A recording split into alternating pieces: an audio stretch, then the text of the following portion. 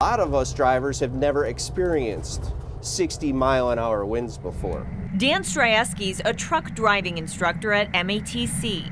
You'll just feel like somebody just completely pushed the truck. His students get eight weeks of training.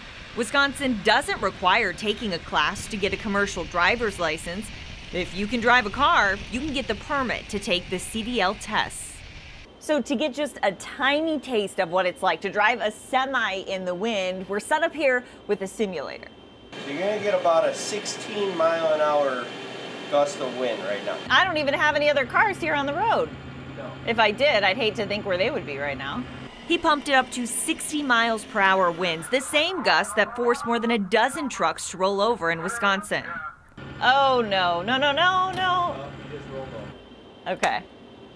That you See it in can't you can't control it at all. Strajewski says more knowledgeable drivers didn't chance it yesterday and parked, but It's very hard for companies to tell their customers, hey, you're not getting your food this day because we have higher winds. he says in the end it's the driver's responsibility to say if he or she doesn't feel comfortable on the road. In Milwaukee County, I'm Adrienne Pedersen, WISN 12 News.